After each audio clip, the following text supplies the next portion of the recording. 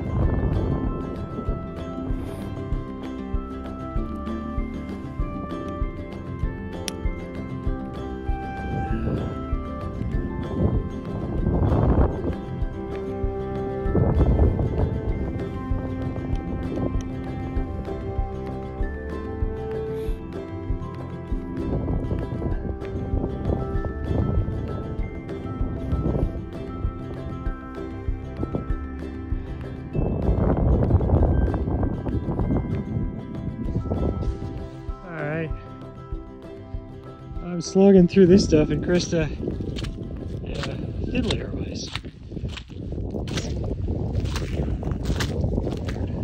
Krista says she has something.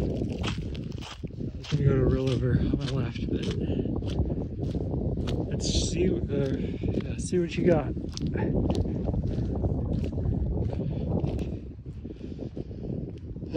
That's nicer. Dry land. Yeah, that's a fragment of the L. Well spotted. It's an odd shape for this one. Yeah, That's good crust on the one side. thought it looked good. nice. All right, so that's that looks like maybe a more recent break than most. All right. That's a little fragment, so maybe we should poke around here. Yeah.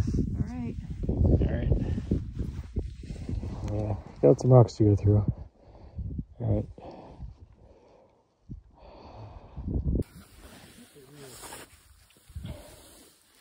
All right, so we looked around for the rest of the little fragment that I just found. Didn't see anything on this berm, but that seems to be pretty normal when they break up here. The pieces tend to uh, go somewhere else. So, got the GPS, gonna tag it, and then move on. Take a look for some other pieces before dark. Hopefully, we find something.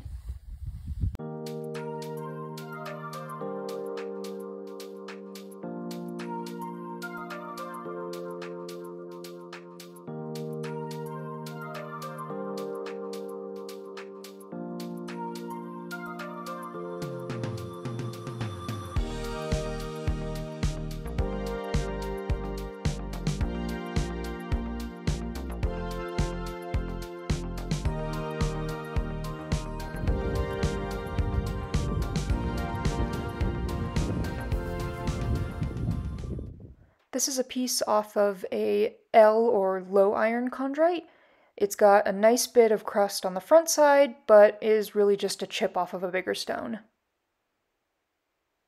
All right. Well, you can see I just crossed the uh, moat there, came over here, and already hit with a cane. Unfortunately, this is pretty small. Oh. It's crusted, a bit of a crusted fragment there. So, meteorite. Yeah, he went in like that. And is in a road. That was pretty cool. Hey, which, uh, that's it right there. Yeah. That was pretty cool. All right, yeah, Chris is coming over. All right. Jason just got one. Just went back to the car to grab the GPS for him. Go over and see what he's got.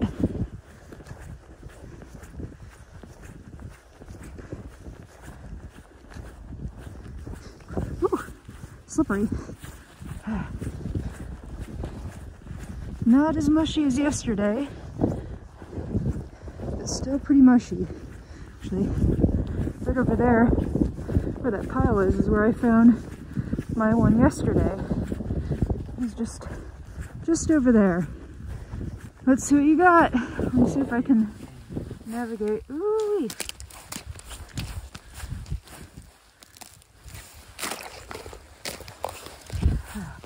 All right. Little guy. Little crusted fragment. Look at him. Yeah. Cutie patootie. Right there. Right, cool. We'll keep at it.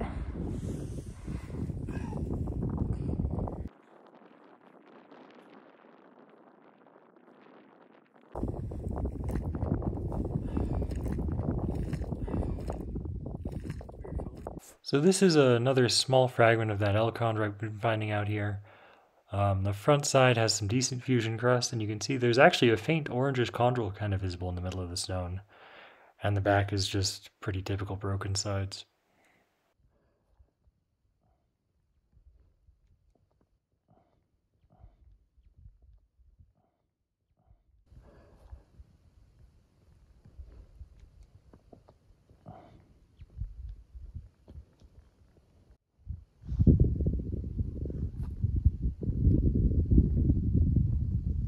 Starting to snow here, actually. That flake just went past me. Uh, I'll see.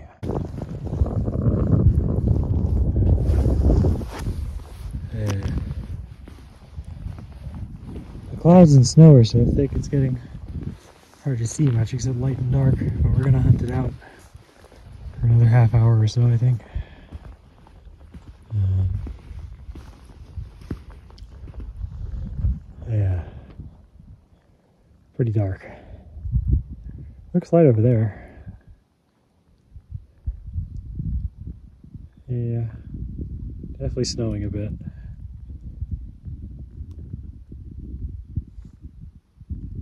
Pretty neat. All right,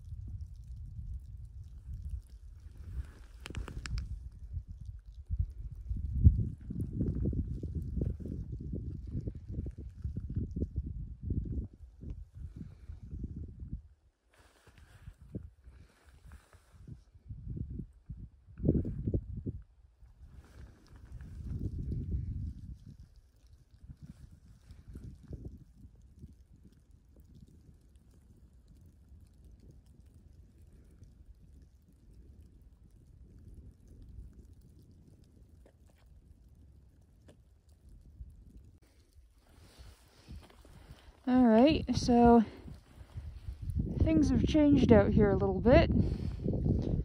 Had some clouds move in, starting to snow. You should have a little bit more time today, but the weather's not really cooperating. You're getting snowed out. Uh, yeah. It's not enough to make the lake bed squishy or anything, but it's hard to see. It's too dark and everything's getting covered in ice, so we're gonna head out.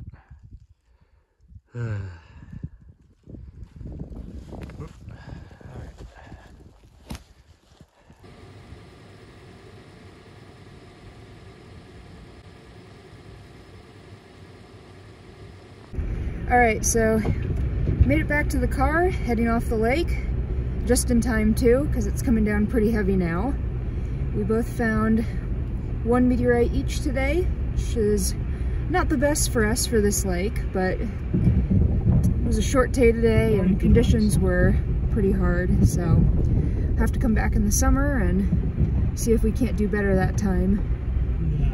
So, but anyway, we'll uh, get some photos of what we found once we've cleaned them up and gotten them home.